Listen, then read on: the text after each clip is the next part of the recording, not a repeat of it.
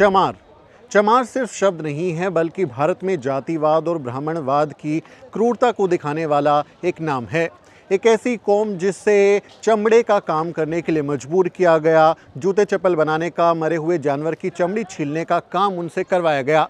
लेकिन ये काम करते हुए भी चमारों ने इतिहास में वीरता के कई ऐसे किस्से लिख डाले, जिनकी कहानियाँ सदियों तक सुनाई जाती रहेगी।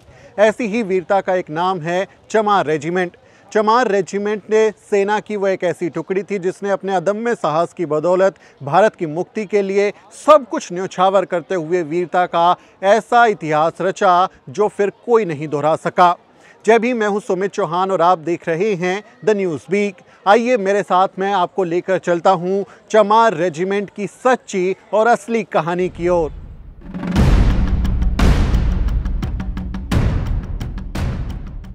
आप जब टीवी पर कदमताल करते हुए भारतीय सेना के जवानों को देखते हैं तो आपका सीना अपने आप ही चौड़ा हो जाता है।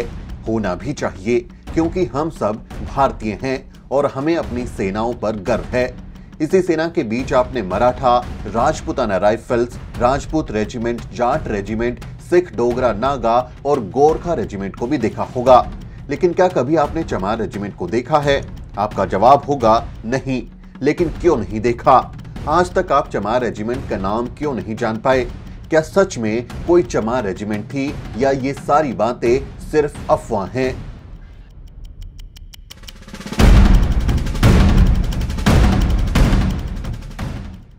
सबसे पहले मैं आपको बता दूँ कि चमार रेजिमेंट की कहानी कोई कपोल कल्पित कहानी नहीं है, बल्कि एकदम सच्ची और असली कहानी है। चमार रेजिमेंट ने इतिहास में शानदार काम किया। ये ऐसी कहानी नहीं है कि किसी ने अपने ग्रंथों में रच दिया और कह दिया कि इतिहास में हुआ था, बल्कि इसके साक्ष्य हैं, ये एकदम सच्ची कहानी है। लेकिन इतिहास में ऐसा क्या हुआ था कि चमार रेजिमेंट को बंद कर दिया गया? चमार रेजिमेंट को बंद करने के पीछे की जो कहानी है, वो भी अपने आप में बेहद दिलचस्प है।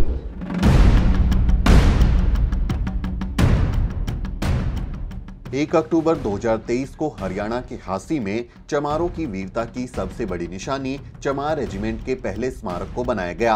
ये चमार रेजिमेंट स्मारक इतिहास के उन पन्नों को खोलता है, जिनमें चमारों की वीरता की शौर्य गाथा लिखी हुई है। दूसरे विश्व युद्ध में चमार रेजिमेंट ने अदम्य साहस का परिचय दिया था। दूसरे विश्व युद्ध में बुरी तरह घिरी ब्रिटिश सरकार ने थल सेना में अलग से चमार रेजिमेंट बनाई थी। इस चमार सेना को तीन साल तक काम करने दिया गया। साल 1943 से 1940 तक चमार रेजिमेंट ब्रिटिश सेना में रही। 1 मार्च 1943 को उत्तर प्रदेश की मेरठ छावनी में ये रेजिमेंट स्थापित की गई थी, लेकिन इसका मुख्यालय मध्य प्रदेश के जबलपुर में बनाया गया था। इससे पहले एक साल तक ये दूसरी पंजाब रेजिमेंट की 27वीं बटालियन के रूप में ट्रायल यानी कि इम्तहान के तौर पर रखी गई थी। ये पहली मार्शल हिस्ट्री है चमार जाति की। पूरे देश में एक बहुत बड़ी जाति है और उस जाति की अभी तक कोई मार्शल हिस्ट्री नहीं थी। चमार रेजिमेंट उसकी पहली मार्शल हिस्ट्री है, जो सेकेंड वर्ल्ड वार के दौरान जिनको हम, जिन जातियों को हम मार्शल कास्ट के नाम से जानते हैं, जाट, मराठा, गुजर, गोरखा वगैरह तो जो लोग इनकी जो रेजिमेंटें थी, सेकेंड वर्ल्ड वार के दौरान कोहिमा इम्फाल और रंगून में इनकी रेजिमेंटें जो जो कर रही थी। चमार रेजिमेंट भी जापान के खिलाफ वही साहस और वही लड़ाई लड़ रही थी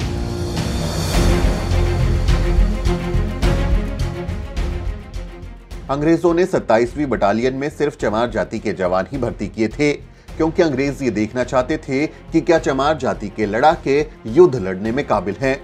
जब चमारों ने हथियारों की ट्रेनिंग और शारीरिक बल से खुद को साबित कर दिया, तब अंग्रेज़ों को यकीन हो गया कि चमार जैसे जानवर की चमड़ी छील डालते हैं, वैसे ही दुश्मन की चमड़ी भी छील डालेंगे।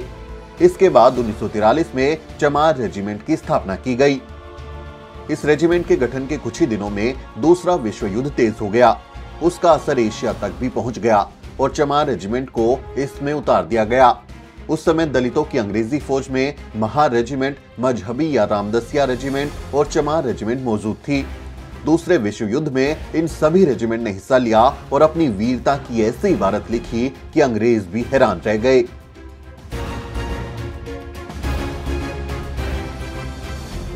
एक हिडन हिस्ट्री थी, एक इरेज्ड हिस्ट्री थी, जो कि ट्रेस की गई है जेन्यून जैसी जगह से। तो एक, इस बात का मुझे भी संतोष है कि एक एक ऐसी कौम जिसकी अभी कोई मार्शल हिस्ट्री ही नहीं थी, वो निकल के सामने आई है। इसकी प्राइम, इसकी जो मिलिट्री का हिस्ट्री डिवीज़न है, उससे प्राइमरी इसके जो सोर्स थे, इसकी जो वॉर डायरीज़ थी, वो मिली हैं और इसकी मंथली इंटेलिजेंस रिपोर्ट्स मिली हैं और और भी दूसरे बहुत सारे प्राइमरी सोर्स मिले हैं। तो एक तरह से ऑथेंटिक हिस्ट्री निकल के आ गई है। चमार रेजिमेंट के योद्धा जंग के जिस भी मैदान में जाते, वहाँ अपनी फतेह का परचम लहरा देते। चमार रेजिमेंट की पहली बटालियन को सबसे पहले युद्ध लड़ने के लिए असम के गुवाहाटी भेजा गया। इसके बाद इम्फाल, कोहिमा और रंगून, यानी म्यांमार तक इस सेना को लड़ाई लड़ने के लिए भेजा गया क्योंकि इसके लड़ाके बेहद वीर थे। इस बटालियन के 42 जो जवान हैं, वो दूसरे विश्व युद्ध में शहीद हुए थे और सात जवानों को वीरता पुरस्कार से भी नवाजा गया था। ये लोग इतने बहादुर थे कि इनकी पहली बटालियन को बैटल ऑनर ऑफ़ कोहिमा से भी नवाजा गया था।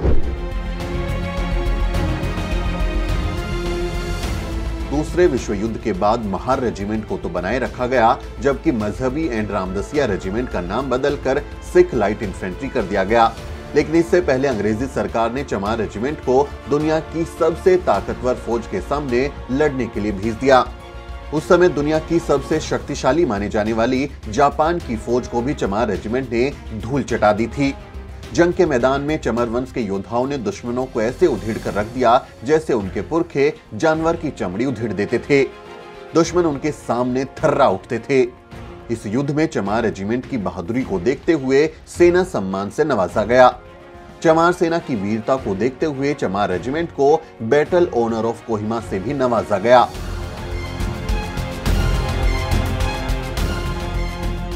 चमार रेजिमेंट की वीरता के बारे में आप देख लीजिए कि इंग्लैंड द्वारा लड़ी गई सभी लड़ाइयों में सबसे घातक लड़ाई जो निकल के आई है, वहाँ एक सर्वे हुआ था इंग्लैंड के अंदर। वो सर्वे जो है, उसमें वाटरलू की लड़ाई थी, उसमें और बहुत सारी लड़ाइयाँ थी। तो इंग्लैंड ने पूरी दुनिया में जो भी लड़ाइयाँ लड़ी हैं, उसमें सबसे घातक लड़ाई जो है, वो बैटल ऑफ़ कोहिमा है। और उस बैटल ऑफ़ कोहिमा में जो रेजिमेंटें लड़ रही थी, उसमें चमार रेजिमेंट भी एक थी। और जिन जिन रेजिमेंटों ने वहाँ लड़ाई लड़ी थी उनको battle honour of Kohima award दिया गया है, जो कोहिमा के वार मेमोरियल के ऊपर दर्ज है, पूरी लिस्ट है। तो उस लिस्ट को अगर आप देखेंगे तो उस लिस्ट में एक चमार जाति चमार रेजिमेंट भी है। तो ये इसका सबसे बड़ा प्रमाण है कि वो चमार चमार रेजिमेंट जो है, वो एक बहुत बहादुरी से लड़ी थी।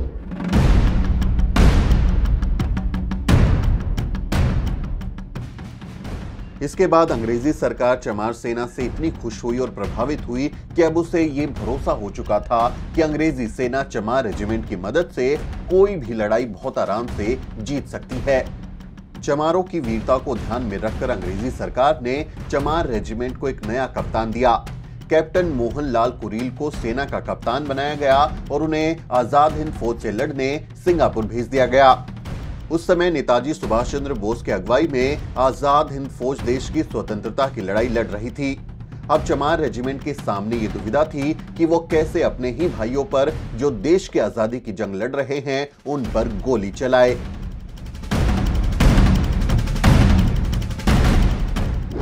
सिंगापुर पहुँचने के बाद कैप्टन कुरील के सामने एक अजीब सी दुविधा थी। वो इस बात को समझ गए थे कि अंग्रेज़ों ने एक भारतीय को दूसरे भारतीय के खिलाफ कर दिया है। उस समय नेताजी सुभाष चंद्र बोस की अगुवाई में इंडियन नेशनल आर्मी, यानी कि जो आज़ाद हिंद फौज है, वो भारत की मुक्ति का संग्राम लड़ रही थी और सिंगापुर में उनके खिलाफ उन्हें लड़ाई के लिए भेजा गया। लेकिन कैप्टन कुरील ने इस अंग्रेज़ी साजिश को समझते हुए विद्रोह कर दिया और आज़ाद हिंद फौज के सिपाहियों पर गोली चलाने से मना कर दिया और उन्होंने अपनी आर्मी को, यानी कि जो उनकी टुकड़ी थी, उसको आज़ाद हिंद फौज के साथ मिलाकर अंग्रेज़ों के खिलाफ ही लड़ाई शुरू कर दी। यानी भारतीय स्वतंत्रता संग्राम में वो कूद पड़े। इसी वजह से अंग्रेज़ों ने 1946 में चमार रेजिमेंट को हमेशा के लिए बंद कर दिया।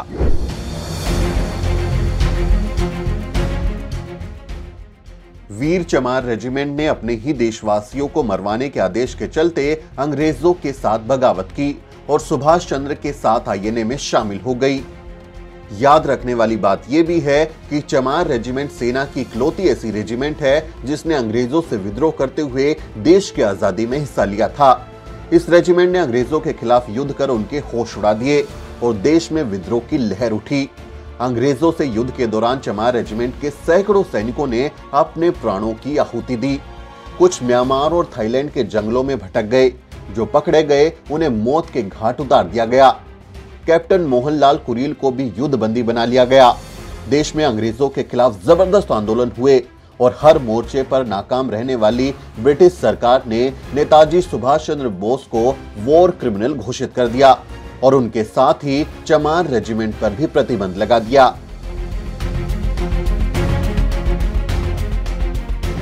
देवक राम नाम का एक सैनिक है। देवक राम जो है, ये सोनीपत के हैं। इन्होंने वहाँ दो ऑफिसरों पे गोली चलाई है।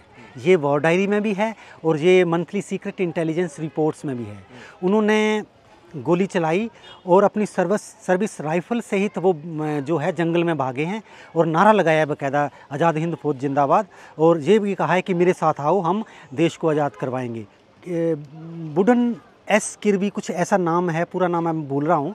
ये उस समय अंग्रेज़ ऑफिसर थे। उसके नेतृत्व में एक एक एक ट्रूप बनाया गया। उस ट्रूप को जिम्मेवारी दी गई कि जंगल में जाके इसको ढूंढो। तो वो 12 घंटे की उन्होंने मशक्क़त के बाद उसको जंगल से बरामद किया था। फिर पकड़ के लाए हैं, फिर उनको जेल की सज़ा हुई है, उसके बाद उनको कोर्ट मार्शल हुआ है, उसके बाद फिर उनको चौवालीस में ही फांसी की सज़ा हुई है। तो ये विद्रोह जो है ना, वहाँ निकल के आता है।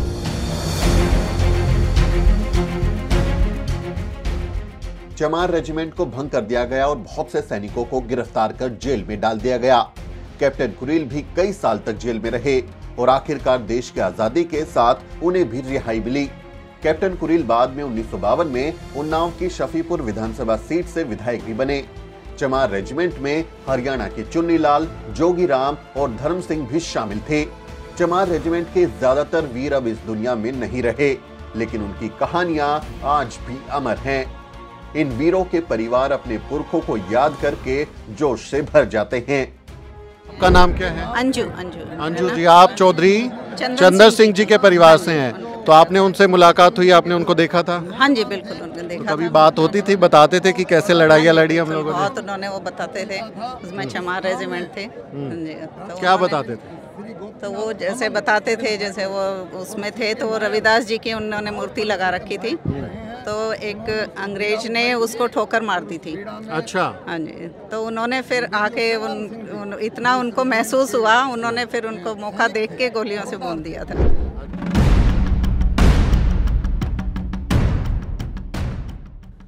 जिन बहादुरों की बदौलत देश को आज़ादी मिली, उन बहादुरों की याद में आज़ादी के बाद भी चमार रेजिमेंट को बहाल नहीं किया गया। हालाँकि इन बहादुर जंगजुओं को दोबारा सेना में शामिल करने की मांग लगातार उठ रही है। चमार रेजिमेंट पर अब स्मारक बन रहे हैं। चमार रेजिमेंट के वीरों पर किताबें लिखी जा रही हैं और इन पर पीएचडी भी हो रही हैं। हवलदार सुल्तान सिंह ने चमार रेजिमेंट और अनुसूचित जातियों की सेना में भागीदारी शीर्षक से किताब लिखी है। दूसरी किताब सतनाम सिंह ने चमार रेजिमेंट और उसके बहादुर सैनिकों के विद्रोह की कहानी, उन्हीं की जबानी नाम से किताब लिखी है। जैसे जैसे इतिहास बाहर आ रहा है, वैसे वैसे इस रेजिमेंट को बहाल करने की मांग भी तेज हो रही है। सियासी हलकों में भी ये आवाज़ उठती रही है। राष्ट्रीय अनुसूचित जाति आयोग भी इसका संज्ञान ले चुका है। दरअसल जानकारों का मानना है कि दलित किसी भी विषम परिस्थिति में रह लेते हैं। जातिवाद के कारण उन्होंने जाने कितनी ही पीड़ा झेली है। उतनी कठिनाइयों में शायद ही कोई और जीवन जी सके, जितनी कठिनाइयों में ये लोग रहते हैं। फिर भी इनकी रेजिमेंट सेना में बहाल क्यों नहीं की जा रही? आज़ादी के बाद से चमार रेजिमेंट बहाल किए जाने की आवाज़ कई बार उठाई गई, लेकिन हर बार ये आवाज़ दब कर रह गई। दलित इस रेजिमेंट को बहाल करने के लिए कई राज्यों में प्रदर्शन कर चुके हैं। नवंबर 2015 में तत्कालीन रक्षा मंत्री मनोहर परिकर ने लिखा था कि वो मामले की जाँच कर रहे हैं। उन्होंने प्रधानमंत्री और गृह मंत्री को पत्र लिखकर मांग की थी कि पाठ्य पुस्तकों में चमारों की गौरव गाथा को शामिल किया जाए, लेकिन आश्वासन के सिवा कुछ हासिल नहीं हुआ।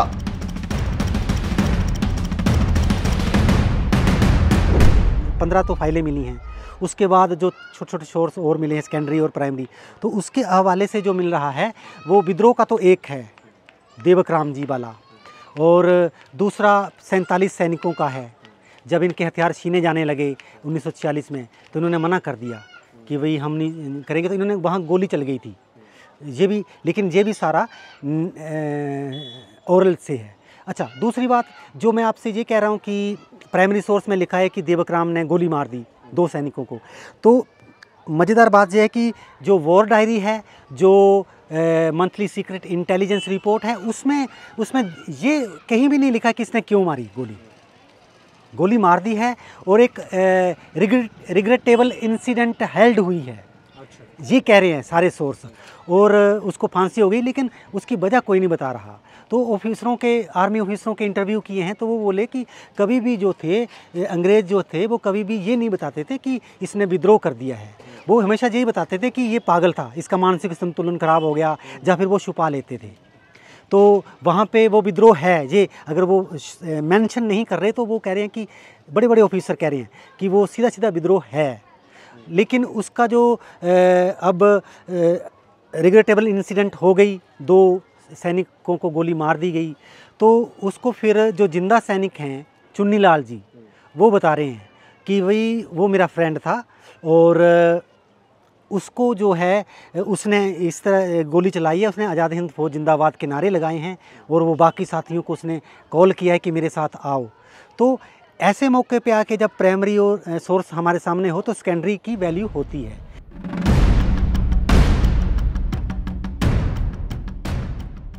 बीजेपी अनुसूचित मोर्चा से जुड़े दलित नेता शांत प्रकाश जाटव ने अक्टूबर 2015 में केंद्र सरकार से इस रेजिमेंट की बहाली की मांग की थी।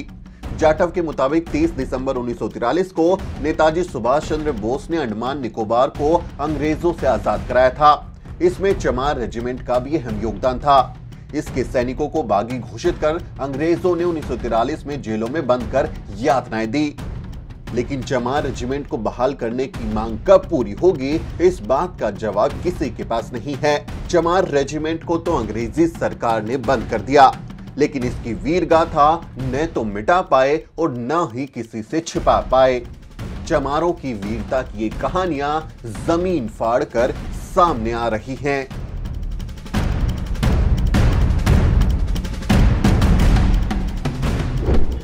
इसकी कई वजह हो सकती हैं। इसकी वजह एक कास्टिज्म भी हो सकता है जी। और इसकी दूसरी वजह ये हो सकती है कि इसका पूरा मटेरियल ही नहीं है जैसे। जहाँ तक कि डॉक्यूमेंट्री या किताब की बात तो दूर की बात है, जो अंग्रेज़ों द्वारा लिखी गई आर्मी हिस्ट्री है, जो अंग्रेज़ हिस्टोरियन हैं या फिर बड़े बड़े आर्मी ऑफिसरों ने भी लिखी हैं। उन सारी ही किताबों के अंदर चमार रेजिमेंट का सिर्फ़ एक पैरा मिलता है। इतने में बनी इतने में टूट गई। तो इसके ऊपर तो कोई एक चैप्टर तक नहीं है मतलब। इसके ऊपर तो किताब होना अलग बात है। तो इसकी ये वजह हो सकती है कि इसका मटेरियल कम था या इसकी कास्ट की वजह भी हो सकती है। तो ये इसी तरह इसीलिए ये कह कहा जा रहा है कि ये हिस्ट्री जो थी हिडन हिस्ट्री थी। तो इसकी हिडन हिस्ट्री जो है वो मेरी पीएचडी के माध्यम से निकली है। लेकिन आ, कोई भी रिसर्चर क्लेम नहीं कर सकता कि यही संपूर्ण है। हो सकता है किसी आर्काइज में हमारी रीच ना हुई हो, वहाँ कोई और फाइलें दबी हों। जहाँ सबसे बड़ी बात जो जो जो मेरा भी मलाल रहा कि जेएनयू में जो पीएचडी स्कॉलर्स हैं, उनको मौका मिलता है इंग्लैंड जाने का, इंडिया ऑफ़िस लाइब्रेरी में। तो वहाँ पे बहुत सारा मसाला हो सकता है।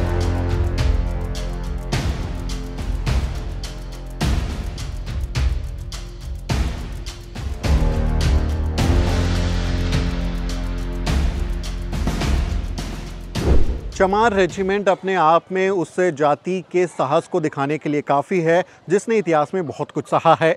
चमार रेजिमेंट की बहाली की मांग होती रही है, लेकिन अभी तक इसको बहाल नहीं किया गया है। ऐसे में चमार रेजिमेंट को लेकर जो लोग आंदोलन कर रहे हैं, उनका कहना है कि वो जब तक इस रेजिमेंट की बहाली नहीं होती, तब तक वो आंदोलन करते रहेंगे। लेकिन बहाली हो या ना हो, चमार रेजिमेंट की कहानी हमेशा हम सबको प्रेरित करती रहेगी कि कैसे अपने लोग जो हैं, वो आज़ादी की लड़ाई में शामिल हुए और उन्होंने आज़ादी के लिए अपना सब कुछ कुर्बान कर दिया। इस कहानी पर, इस वीडियो पर आपकी क्या राय है? चमार रेजिमेंट के बारे में क्या पहले से जानते थे? या क्या कुछ आपको नया सीखने को मिला? इस बारे में आप अपनी राय कमेंट के ज़रिए हम तक पहुँचा सकते हैं। आपसे अपील है कि हमारे चैनल को सब्सक्राइब करें और वीडियो को अन्य लोगों के साथ शेयर ज़रूर करें। मेरा नाम सुमित चौहान है और इस वीडियो स्टोरी में मेरी मदद कर रहे हैं मेरे सहयोगी मोहित। अगले किसी वीडियो में मुलाकात होगी दोस्तों, तब तक आप देखते रहिए द न्यूज़ वीक साथियों, अगर आपको द न्यूज़ बीक का काम पसंद है और आप चाहते हैं कि हम यूँ ही अम्बेडकरवादी पत्रकारिता करते रहें तो हमारी आर्थिक मदद ज़रूर करें। आप अपनी स्क्रीन पर दिखाई दे रहे इस क्यूआर कोड को स्कैन करें और न्यूज़ बीक फाउंडेशन के खाते में अपनी दान की राशि भेजें। क्यूआर कोड के अलावा आप यूपीआई के ज़रिए भी मदद कर सकते हैं। आप हमारी UPI ID News Beak at the rate Yes Bank पर भी मदद भेज सकते हैं। इसके अलावा आप हमारे अकाउंट में भी मदद भेज सकते हैं। खाते का नाम है News Beak foundation account number है zero two three five double eight seven double zero double zero zero six four zero I F S code है yes B double zero double zero two three five bank का नाम yes bank है और branch है Nehru palace Delhi आप donation के एवज में इनकम टैक्स में भी छूट पा सकते हैं। डोनेशन की रसीद पाने के लिए ट्रांजैक्शन का स्क्रीनशॉट हमें भेजें। टाइप करें डोनेशन स्पेस आपका नाम और हमें eight five nine five seven nine four two two four पर व्हाट्सएप करें।